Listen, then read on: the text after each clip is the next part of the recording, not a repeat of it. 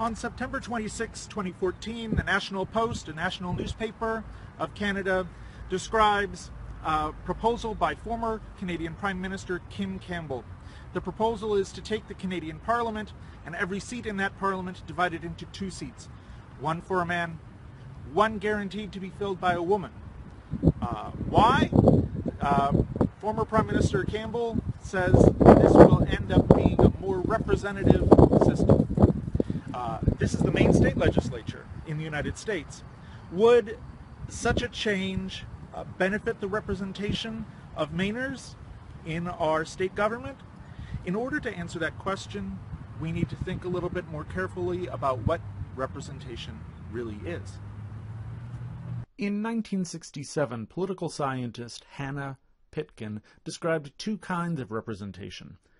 The first is descriptive representation.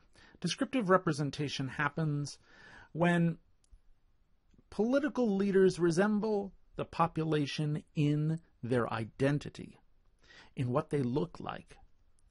The second kind of representation involves substantive representation, when political leaders resemble the population in policy, in what they promote in terms of ideas as laws. Now imagine in this circumstance we have eight blues and two reds in a Congress. Well, here blues would rep- enjoy a descriptive representation of 80%, 8 out of 10.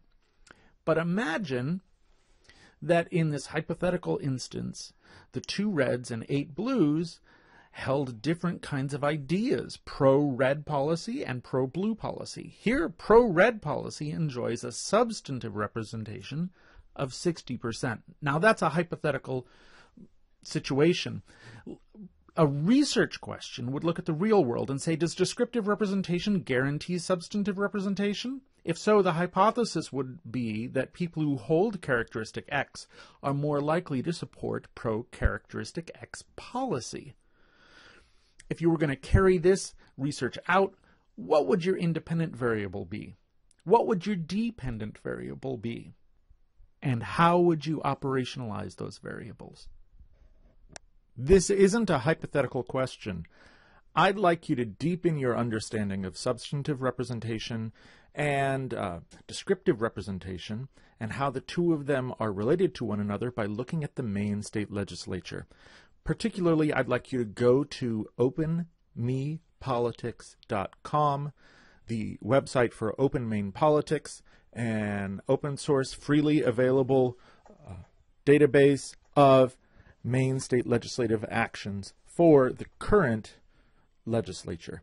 I'd like you to search for some bills on subjects that you believe uh, have to do with the interests of one sort of identity or another that people could be descriptively represented uh, by according to the status of legislators. Are they men? Are they women? Is this region? And then I'd like you to look at the sponsors, both the principal sponsor and the co sponsor. I'd like you to find out what that status is for each of those sponsors. And then I would like you to go compare that to the representation of that status in senators and representatives across the entire Maine state legislature. Depending on which status you choose, uh, this could be an easy or a difficult task. I uh, encourage you to choose wisely. Compare the two the status of those who support the bill that you believe promotes a particular interest and the status of legislators altogether. And you will have uh, an answer to our research question.